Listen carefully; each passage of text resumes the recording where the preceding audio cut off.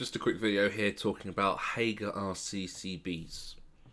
Post the 18th edition, there's been a little bit of confusion about how to test Hager RCCBs because they implemented an update to BSEN 61008.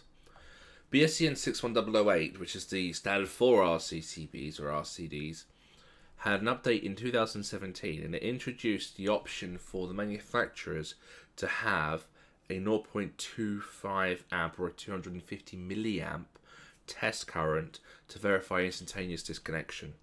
So instead of the times 1 times 5 scenario that we are so familiar with, with times 5 for a 30 milliamp being 150 milliamp, there was an introduction into that that said that they could have 250 milliamp as an option. And it actually has this in the table under it as a note A. It says the value is to be decided by the manufacturer for the test. So what Hager decided to do was update their RCCBs to incorporate the new 250 milliamp option. The problem with that is it's resulted in some change in the use or the wording of the wiring regulations. So prior to the 18th edition, in the 17th edition, we had a regulation that we understood well, and the regulation said in 415, the old 415, it said the use of the RCDs with a rated residual operating current not exceeding 30 milliamp and an operating time not exceeding 40 milliseconds at 5i delta n. So it told us 5i delta n, uh, which was 150 milliamp. The newer 415 has been reworded. The 5i delta n is not there. It says the use of RCDs with a rated residual operating current not exceeding 30 milliamp is recognized in AC systems as additional protection in the event of failure of provision for basic protection. That's it. No mention of the time. What they've done is they've taken that 5i delta n they've taken it to part 6 where they've added to it. So it's actually not got the mention of times 5. What it does say is the effectiveness is deemed to be achieved or verified if it disconnects within 40 milliseconds tested at current equal to or higher than 5. So what this means is it could be 5, 150 milliamp, or it could be more. We could apply more current to the test. That's obviously allowed this option for the 250 milliamp to go in. The problem with this though was how we test it because we're very much used to the times 1 and the times 5 and maybe the times half. And a lot of the multifunction testers have a very simple layout to accommodate times half, times 1 and times 5. Um, we keep it like that.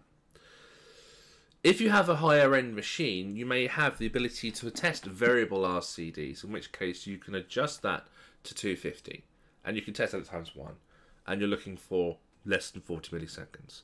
It does say, however, or higher here, and the advice that Hager have given for this is if you have an MFT that doesn't do a variable, you could just set it to 300 milliamp, again, which is higher, and as long as the instantaneous disconnection time is within 40 milliseconds, then you're good. So that's a little bit of a way out of this problem. But Hager have received more and more complaint about this issue because it's been very frustrating and confusing for electricians. So what they have just recently done is they've just announced on Twitter, um, and I'll just read it here. Based on customer feedback we've received, we are pleased to confirm that we have improved our new RCCBs to align with the 40 millisecond trip time calibrated at 150 milliamp, which is the way we've always been familiar with. This is standard practice in the UK market, and they're now being fitted as standard in our products since the 1st of October. So, since the 1st of October, from the line, everything is calibrated to adjust to the older 150 milliamp, which we are more familiar with. But this creates the scenario if we've had a year of RCCBs coming in off of the line where they are adjusted to 250 milliamp, not 150 milliamp. So, solution for that Hager have given us is the panels or the consumer units that this was provided with will have a label. They'll have a label fixed inside them, and I've got a copy of that label right here. And the wording of the label says this type A 30mA RCCB in this consumer unit conforms to BSEN 61008-1 2017. The test should be carried out at a current value of 250 milliamp for the 40 millisecond time. So, from the 1st of October, RCCBs should be okay to 150 milliamp the old way that we are familiar with. Since introduction of the 18th edition, and for a good so, so for a good year, maybe even 18 months stretch, we've had RCCBs coming in and they need 250 milliamp for instantaneous disconnection. Look for these labels if you're in a Hager board. If you're in a Hager board, look for this label, and it's very important if you're in a Hager board that this label is maintained and that you you know you don't remove it or damage it.